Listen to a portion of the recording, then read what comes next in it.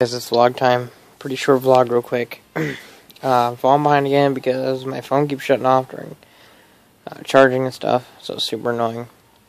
But uh, uh, I'll get them all uploaded here soon because I have Thursday and Friday off, so I don't know.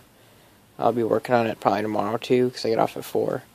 Anyway, um, anyway, um, today I work nine to six, open to close.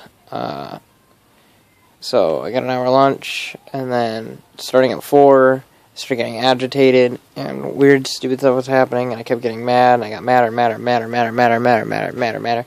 Anyway, um, I was really mad at work the last, like, two hours. Finally left, went to my grandparents for a little bit, talked to them, talked to the kids, came home to eat, brought the kids here with me, they played games, I played games. Uh, then they left, and I played a few games of the league. Now I'm going to bed. So, I don't know. That's uh, my day. I work 7 to 4 tomorrow, so see how that goes. Talk to you guys later. Goodbye.